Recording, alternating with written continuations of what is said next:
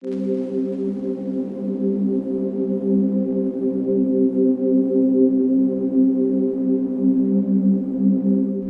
of the early party leaders who adopted this strategy was John Slidell, the leader of the political organization known as the Ring within the Democratic Party in New Orleans.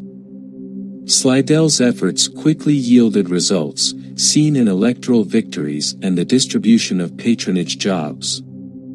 This use of positions to reward party loyalists strengthened and expanded the Ring's influence in political competitions throughout the state. Democratic Party organizations in other major cities such as Kansas City, Chicago, and New York followed this pattern. With the influx of large groups of German, Irish, and Italian immigrants into these cities, the Democratic Party also welcomed them and supported their interests, recognizing their potential voting power. Although the Democratic political machine was more successful in forming such coalitions with immigrants, Republicans also engaged in these activities in certain regions like Buffalo, Philadelphia, and Atlantic City. In the 1880s, when a significant number of Italians arrived in the United States, politicians found substantial advantages in establishing connections with immigrant mafias and leaders of street gangs that operated in Italian neighborhoods. These immigrants proved useful in intimidating opponents, while political leaders rewarded them with patronage jobs and ensured their legal immunity. As a result of these alliances, organized crime became inseparable from organized politics in major cities. In New Orleans at the end of the 19th century, the Ring collaborated with the underground groups of Matranga and Provenzano. This collaboration proved to be highly valuable, as candidates supported by the Ring occasionally won more votes than the total number of registered voters in certain elections. It is believed that the support of the Ring may have played a role in Matranga's evasion of extra-legal anti-mafia executions in 1891 in New Orleans. New York Tammany Hall, the Democratic organization based in New York, had working relationships with many underground figures, including gangsters from the Five Points Gang such as Paolo Vaccarelli, Frank Costello, and Ciro Terranova. Vaccarelli, who started his career in the early 1900s and controlled street gangs in Manhattan, had significant influence in labor unions on the Lower East Side and aligned himself with Tammany Hall. Costello had relationships with politicians Jimmy Hines and Albert Marinelli, benefiting both parties. Chicago The Democratic leaders in Chicago, such as Mike McDonald, Michael Kenna, and John Coughlin, established connections with mafia bosses Antonio D'Andrea and Mile Merlo, as well as Jim Colosimo, the owner of brothels and nightclubs. Kenna and Coughlin were among the ten prominent figures in the city who carried Colosimo's coffin during his funeral in 1920. Members of Congress, judges, state and federal prosecutors, and local politicians also stood in line with the coffin. Kansas City The Kansas City Democratic Organization, known as the Pendergast Machine, included several notable gamblers and leaders of Italian groups. Johnny Lazia and Charles Binaggio were particularly important among them. Lazia organized and led gambling operations in Kansas City and, in the 1920s and early 1930s, organized bootlegging activities. He was a close associate of Tom Pendergast, the leader of the organization. Lazia was killed in a shooting on June 10, 1934. Binaggio became a successor to the Pendergast machine and took over Lazia's duties. He and his trusted assistant, Charlie Gargotta, were assassinated in a Democratic Party club on April 5, 1950. Early Mafia Organizations In the early 20th century, street gangs in cities regularly organized flashy dance ceremonies known as rackets. The first underground racketeers were likely members of gangs who forced shop owners to purchase tickets for these events. Gradually, the term racket became a more general term, and in the mid-1920s, many organized criminals referred to themselves as racketeers. Black Hand One common crime among Italian-American communities was the Black Hand letters. These were written requests sent to merchants, threatening harm to their property or even worse if they didn't comply. These letters were filled with menacing symbols, and some were signed with ink-stained handprints. While some recipients ignored these demands with impunity, others were victims of bombings, kidnappings, and even murders. It is believed that the fledgling mafia organization in New Orleans was behind these forms of extortion. Around 1890, the Provenzano family published threatening letters claiming they were sent by the rival group Matranga. It is speculated that Big Jim, the leader of Chicago's criminals who also had political connections, received similar threats from the Black Hand. Lottery One of the most profitable money-making schemes of the Mafia, heavily guarded, was the lottery. Underground organizations throughout the country were involved in this type of illegal gambling. Participants placed bets on multi-digit numbers with modest amounts of money, and the person with the winning number received a substantial cash prize. Gaius Gallucci, an investor with political connections and a supporter of Sicilian and Italian street gangs in East Harlem, New York, successfully protected his underground gambling business, the Numbers Racket, for years. On May 17, 1915, members of rival gangs set a trap on East 109th Street and fatally shot his son. The Mafia infiltrated the labor movement at docks and bustling warehouses, extorting shipping companies and collecting kickbacks from immigrant workers. The New Orleans-based Provenzano gang had a hand in this enterprise. Santo Oteri, a pioneer in maritime cargo transportation, fell victim to this scheme in 1881. When he had a shipment of bananas on his ship, he realized the dockworkers, controlled by Provenzano, were unwilling to unload it. Oteri was forced to give a significant portion of his cargo to Provenzano-affiliated fruit vendors to get the dockworkers back to work. It is said that Benjamin Siegel, a longtime associate of Charlie Luciano, once comforted someone with the notion that we only killed each other. However, this statement was far from true. The assassinations of David Hennessy, the New Orleans police chief, in 1890, and Joseph Petrosino, a New York police inspector, during his mission in Sicily in 1909, were among the earliest instances of organized crime targeting law enforcement.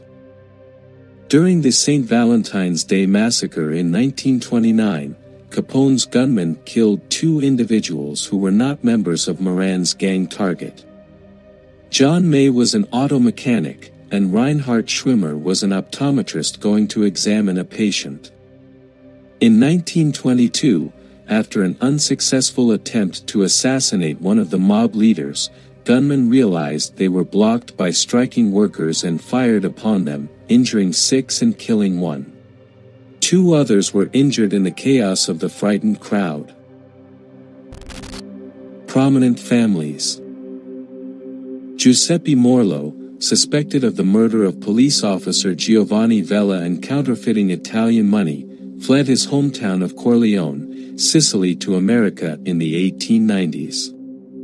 He and his extended family lived and worked in Louisiana and Texas for a while before deciding to settle in New York City.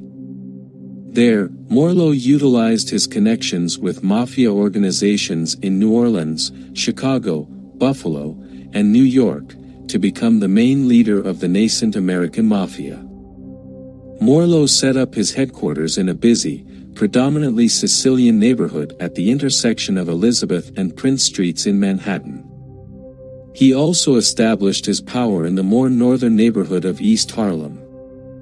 His nephew Vincent and brother Nicholas led a violent street gang in that area, working in allegiance with the mafia. Morello acquired support from his distant relatives, the Catania, Lima, Lomont, and Ignazio Lupo, the husband of his sister. Lupo, an immigrant from Corleone, had fled Italy after brutally killing a shopkeeper and escaping the clutches of Italian police. He arrived in New York in the late 1890s and collaborated with Morello in various illicit activities, including extortion from Black Hand operations. These two became relatives when Lupo married Morello's sister in December 1903. Underground punishments posed a deterrent for investigators. Gang members knew that revealing any of Morello's activities would result in their deaths. The Sack murder in 1902 served as an example of intimidating punishment. Several teenagers from Bay Ridge, Brooklyn, who were swimming in the waters of New York Harbor on July 23, stumbled upon a large sack in a grassy patch near the shoreline. Inside the bag, they discovered the murdered body of Giuseppe Catania, who had been missing for two days. Catania's throat had been slit with a knife, and his head was almost severed from his body. Law enforcement authorities realized that the motive for the killing was Catania's habit of discussing his underground connections with his friends when he drank with them.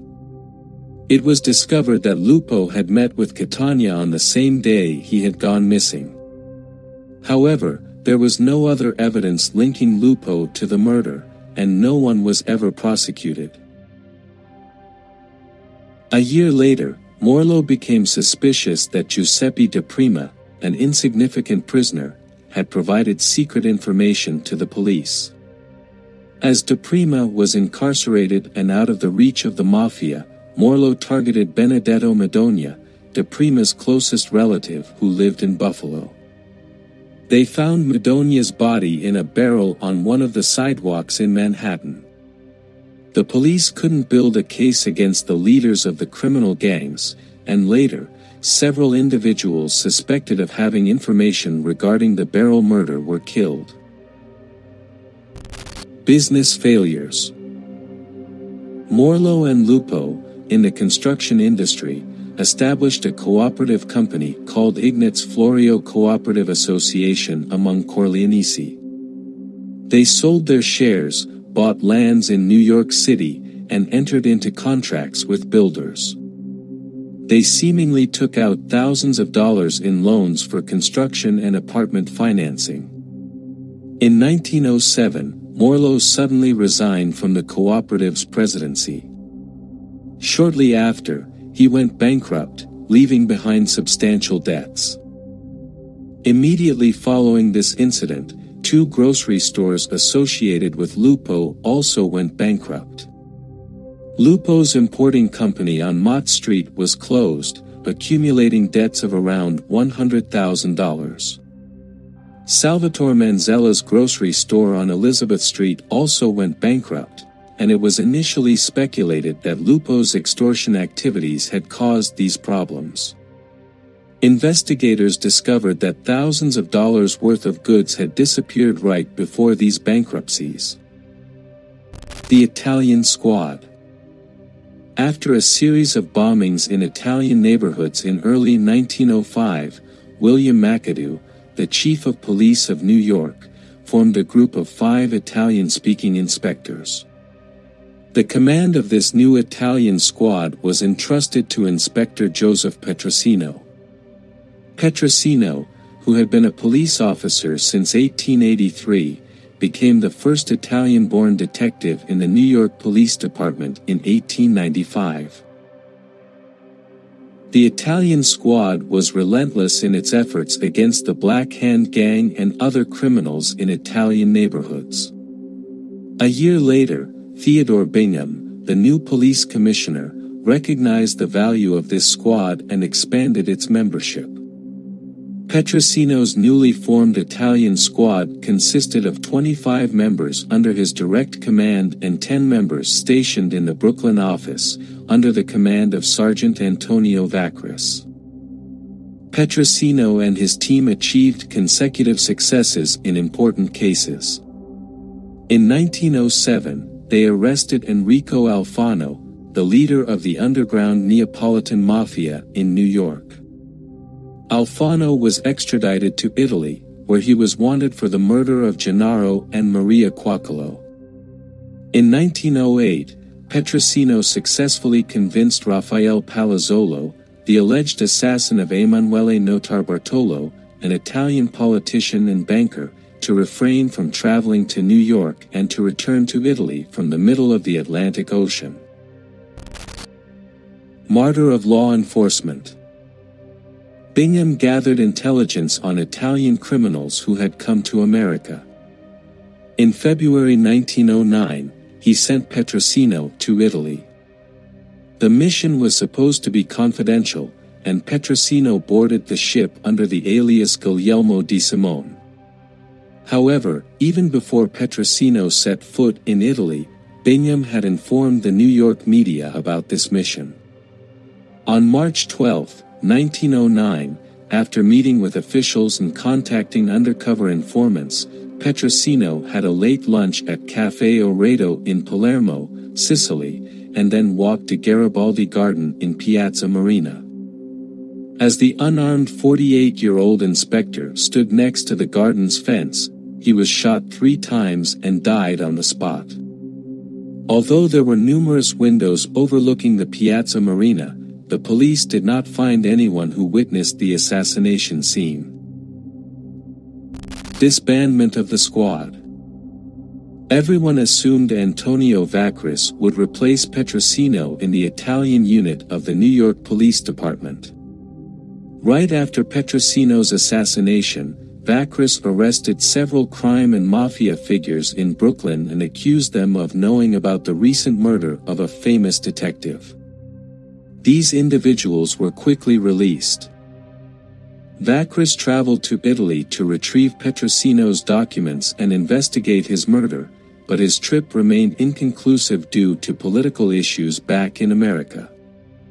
Theodore Bingham was removed from his position as police commissioner, and William Baker became his successor, showing little interest in Petrosino and Vacris missions. He ignored Vacris' 742 criminal activity records brought from Italy. The Italian squad was disbanded, and the inspectors were scattered across various regional police departments in New York. Vacris resigned from the police department in 1919 and opened a private detective agency. Revival Detective Michael Fiaschetti, a former student of Petrosino, revived the Italian squad for a brief period from 1918 to 1922. This time, the squad was formed in response to the sudden rise in Black Hand criminal activities. Fiaschetti was appointed as the commander of 150 men, but this effort faced difficulties from the start, as many people questioned why the police department was singling out Italian crimes. Fiaschetti shared the same toughness and influential presence as his mentor. However, he lacked Petrosino's selfless loyalty to his superiors. Fiaschetti was arrogant. Despite some notable victories in the fight against the Italian mafia in New York, Fiaschetti displeased his superiors. In 1922, after a heated verbal altercation with an influential politician, he was physically removed from the Italian squad. Almost immediately, the Italian squad was disbanded, and Fiaschetti's rank was reduced to patrol officer. Counterfeiting money. The United States Secret Service had been aware that the Morello Lupo organization was involved in counterfeiting money. While agents were able to build convincing cases against lower-ranking members distributing counterfeit bills on the streets, finding evidence against the top leaders proved difficult. William Flynn, the head of a regional undercover police office in New York, in May 1909, became aware of the distribution of counterfeit $2 and $5 bills in New York, Boston, Philadelphia, Pittsburgh, Buffalo, Chicago, and New Orleans. It appeared that all of the bills came from one source. The simultaneous distribution of the bills in major cities indicated a large-scale distribution network. Flynn believed that the Morello Lupo gang was behind these counterfeit bills. He and his team covertly kept an eye on the gang's leaders since the barrel murder. Flynn was well aware of Morello's history in counterfeiting his numerous travels to different parts of the country, stopping in every city where counterfeit money had surfaced. He knew that Morello and Lupo used mechanisms to avoid direct contact with counterfeit money. As previous attempts to put the gang's leaders behind bars had failed, Flynn carefully organized his case before taking any action against them. The undercover police managed to catch a person named Sam Locino, a resident of Pittston, Pennsylvania. Locino had been working with one of Morello's subordinates Giuseppe Boscarino. Flynn used Locino to send letters requesting samples of the latest counterfeit bills from Morello. He also coerced Locino to meet Boscarino and negotiate the purchase of counterfeit bills with him. With the assistance of the United States Postal Service, Flynn had several incriminating letters intercepted. Some of these letters contained orders for purchasing counterfeit bills that were sent by mail to Morello and his associates. The intercepted letters had signed receipts confirming the receipt of the letters, as well as additional signatures from witnesses willing to testify about the identity of the recipients. In this way, Flynn gathered a collection of evidence regarding the counterfeit bill transactions. Traders On June 4, 1909, Flynn himself led the raid on the suspected counterfeiters in the second floor rooms of a job agency on East 13th Street in New York. They arrested seven individuals. One of them, Vincenzo Battaglia, confessed to being involved in the distribution of counterfeit bills. He admitted that Boscarino and Antonio Secola, Morello's associates, had forced him to purchase the counterfeit bills at 25% of their face value. A breakthrough in the undercover police case came when Antonio Comito, a printing press owner who claimed he was coerced and threatened by Morello in the counterfeiting operation, agreed to give evidence against the gang's leaders. Comito provided information about the gang's meetings, which Morello and Lupo also attended. He also revealed that the gang had prior knowledge of the assassination of Joseph Petrosino, a New York police inspector, and celebrated his murder. In November 1909, Flynn's agents arrested 14 individuals involved in counterfeiting money. They separated the suspects into different groups. Morello, Lupo, and five others were tried on January 26, 1910. Flynn's substantial evidence convinced the jury, which only deliberated for about an hour. On February 19, Judge George W. Ray sentenced the group to a total of 150 years in the Atlanta federal prison. Judge Ray sentenced mafia boss Morello to 25 years in prison and a hefty fine, effectively removing him from his position as leader of the Sicilian mafia world in America. After hearing Lupo's criminal history, Judge Ray sentenced him to 30 years in prison and a $1,000 fine. None of their accomplices received less than 12 years in prison. Morello had a difficult time in prison. After about a year, rumors spread that Morello wanted to shorten his sentence by providing information about the assassination of Petrosino. Newspapers reported that Morello had met with officials and had divulged information about a conspiracy against the Italian squad leader. However, these claims were never disclosed. Some newspapers suggested that Morello had a change of heart and refused to sign his statements. Morello suffered from various physical ailments, including indigestion, chest pain, and poor circulation. The letters sent to him from home were not particularly comforting. In the spring of 1912, the former mafia boss received shocking news. He was informed that his son had been killed in a shooting in East Harlem. Four years later, Nicholas, Morello's half-brother, was shot dead in a meeting intended to reconcile with Parkland gangsters. With the assistance of influential friends, Morello obtained a reduced sentence from the president, reducing his punishment to 15 years. Due to good behavior, he was released in March 1920.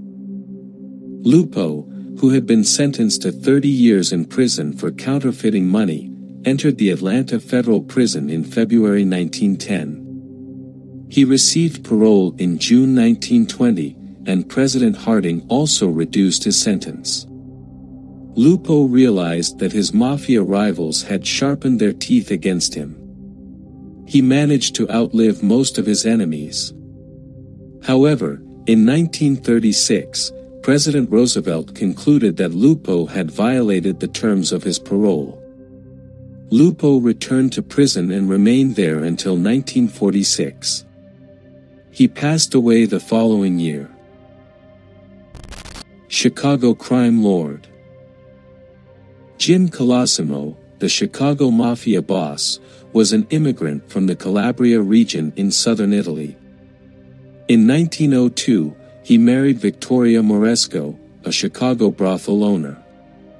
This marriage marked the beginning of Colosimo's criminal activities and laid the foundation for his extensive criminal empire.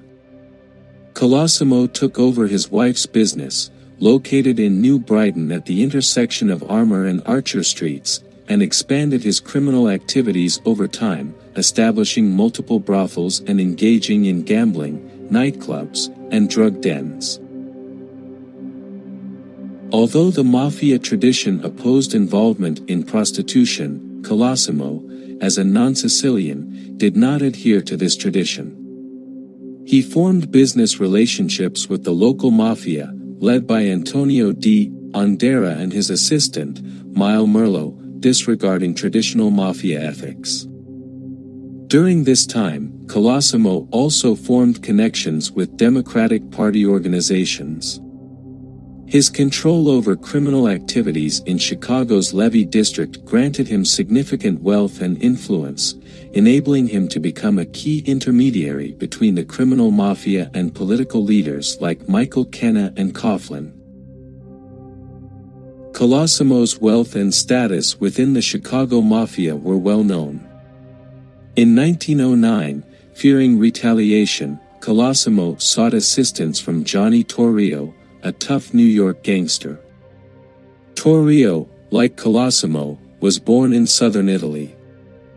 When he arrived in the Windy City, Torrio became the manager of one of Colosimo's brothels and formed a small gang to oversee Colosimo's numerous illegal businesses. In 1912, Colosimo established a new restaurant called Colosimo's Cafe. Likely, Colosimo's transition from owning brothels to becoming a cafe owner was an attempt to gain legitimacy. Shortly after joining forces with Colosimo, Torrio sent someone named Al Capone to work for him. Capone, an American-born criminal, was notorious for his violent nature, particularly during his time working at Frankie Yale's nightclub in Coney Island. Colosimo, Torrio, and Capone led the non-Sicilian mafia organization, overseeing its rapid growth in Chicago. With the increasing prominence of Colosimo in the legitimate business world, Johnny Torrio took on a larger role in the criminal empire of Chicago and eventually opened his bar, the Four Deuces, a short distance away from Colosimo's cafe. After the murder of Colosimo in 1920, Johnny Torrio took control of Colosimo's business, and it is believed that he, with the help of Al Capone, was responsible for Colosimo's death.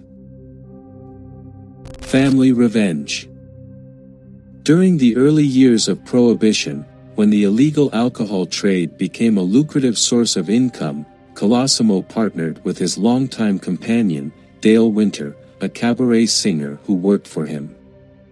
On the afternoon of May 11th, they asked Colosimo to go to his cafe. He was supposed to receive a shipment of smuggled whiskey. He arrived there shortly after 4 p.m., talked to some of his employees, and went to the entrance vestibule. Employees heard two loud gunshots and rushed there to find Colosimo's lifeless body on the floor. The police initially suspected his first wife's brothers and took them in for questioning before releasing them. Nevertheless, the list of potential suspects in Colosimo's murder seemed endless. Many people, including business rivals, politicians, and mafia figures, had motives to kill the mafia boss.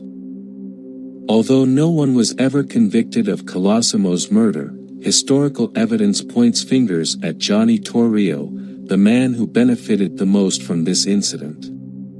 Torrio, with the help of Capone, gained complete control over the mafia empire, made significant investments in bootlegging operations, and acquired enough underground power to compete with the established Irish Jewish and Sicilian factions in Chicago.